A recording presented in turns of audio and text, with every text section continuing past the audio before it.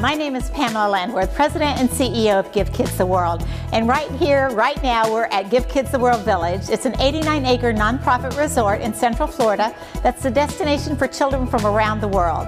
Children with a critical illness whose one wish is to come experience all the magic that Central Florida has to offer. We decided to spend this year in Orlando celebrating a theme called Celebrate Ice Cream.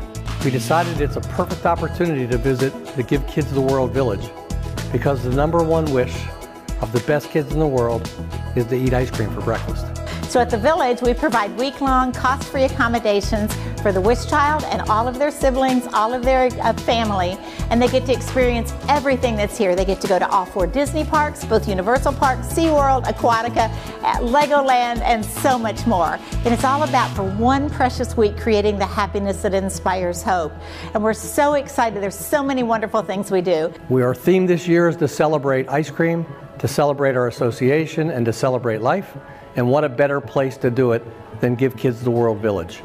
The number one treat for these children is not only to spend the best week of their lives, but also to enjoy ice cream for breakfast and to have ice cream as their favorite treat.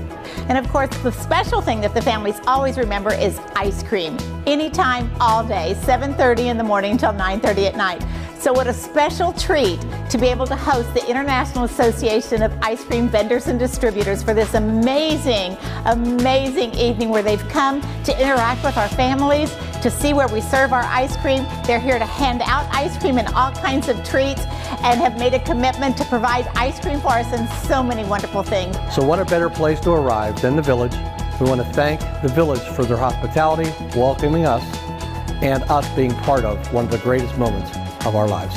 On behalf of all of the wonderful families, our staff, our volunteers, and everyone, we just want to say a heartfelt thank you. We couldn't do what we do without you.